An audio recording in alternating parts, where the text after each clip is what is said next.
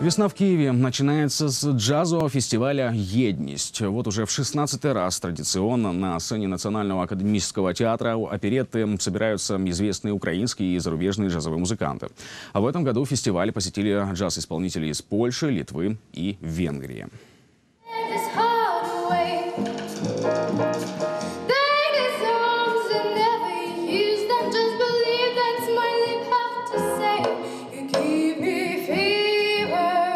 Мария с детства занимается музыкой. На фестивале выступает с 8 лет. Сейчас девушке 14. Говорит, каждый раз для нее как первый. С каждым годом опыта все больше и больше.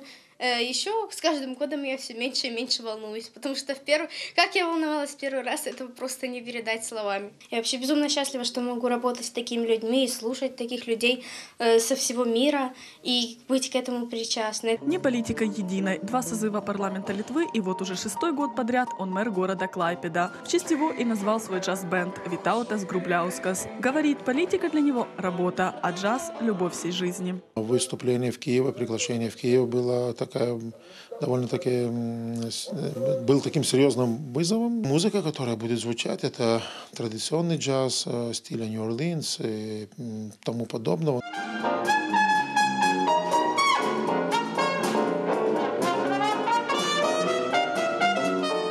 Джазовый фестиваль «Едность» проходит в столице уже 16 лет подряд. В этот раз приехали музыканты из Польши, Литвы и Венгрии. За два дня на сцене столичного театра опереты выступит 10 коллективов. Основатель фестиваля говорит, что с каждым годом количество желающих посетить «Едность» растет. И это хорошо, ведь мир сможет больше узнать об Украине и ее талантливых музыкантах. Когда они видят, в каком здании, э, в каком театре проходит джазовый фестиваль, когда они видят, какие музыканты у нас есть, все меняется, очень серьезно меняется.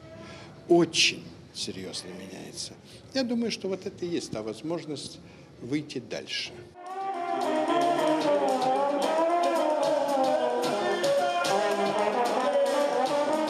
Алена Клюско, Юрий Нестеров, Владислав Гапон, UATV.